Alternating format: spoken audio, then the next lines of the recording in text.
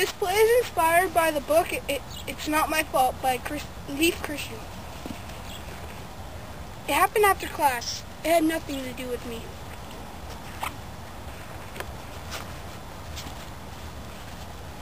Uh, I didn't see what happened, so I didn't know why he was crying.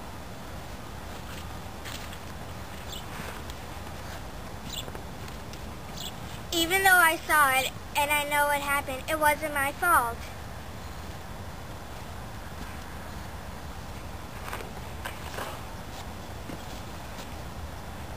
I was really scared and there wasn't any way to help, so I just stood on the side and watched.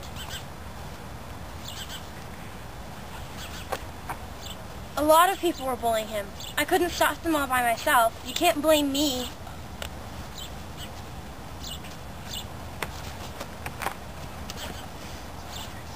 A lot of people hit him. Actually, everybody hit him.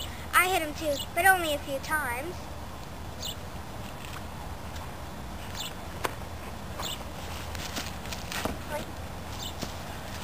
I didn't hit him first. Somebody else hit him first. So it wasn't my fault.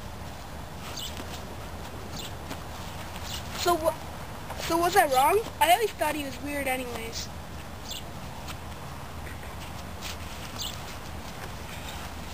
This whole thing wasn't strange at all. If he's getting picked on, maybe he should blame himself.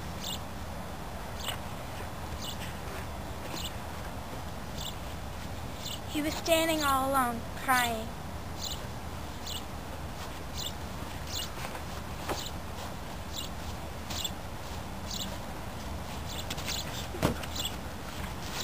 Guys shouldn't be crybabies.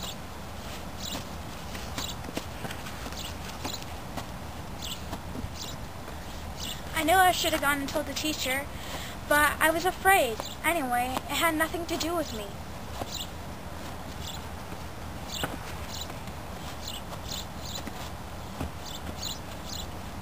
He was just crying quietly, not even saying anything. Everyone acted like nothing happened.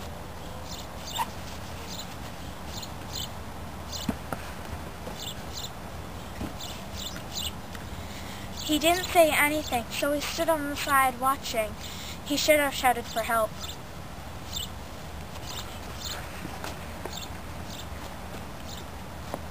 I hit him too, but it doesn't matter. Everyone is hitting him, so you can't blame me.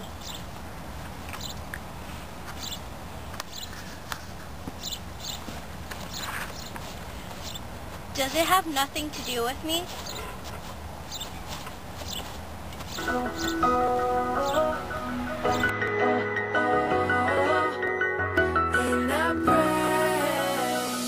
I just can't sleep tonight.